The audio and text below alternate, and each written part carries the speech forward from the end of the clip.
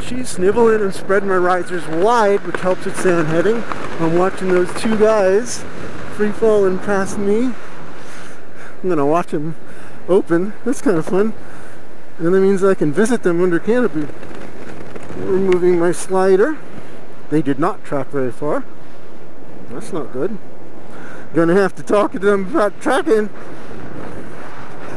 I see all four of my guys unstowing my toggles on my Sensei. See all the brake line slack on this one.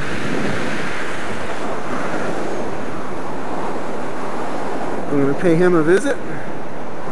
Let's see if he sees me. He's looking at his slider, not at me.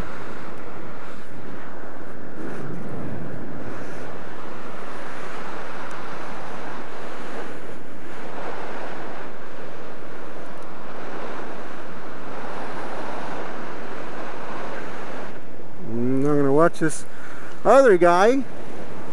Pay him a little visit. Is he looking before he turns? No, he's not. there he's looking at me. That's cool. You gotta look around for your traffic.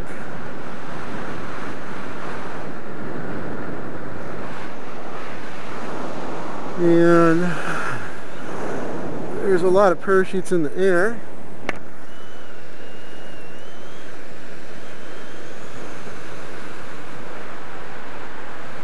And that is fun for me.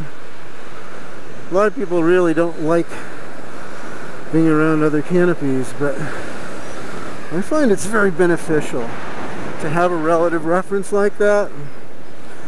It's just, there's nothing quite like it. To look over and see somebody there tells you, uh, you know, are your brakes actually doing what you think they're doing? Are you flaring or braking, right? So this is a braking maneuver which very slowly moves my pitch and might not level off the parachute. Gather a little more airspeed. This, on a more aggressive application, that's a flare. 2,000 feet. I don't see any traffic. So I think I'm good to go for a high-speed approach.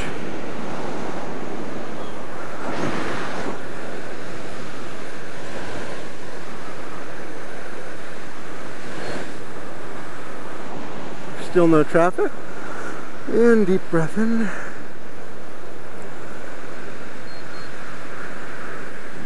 No traffic. Brakes, surge, both front risers. Turning. Diving.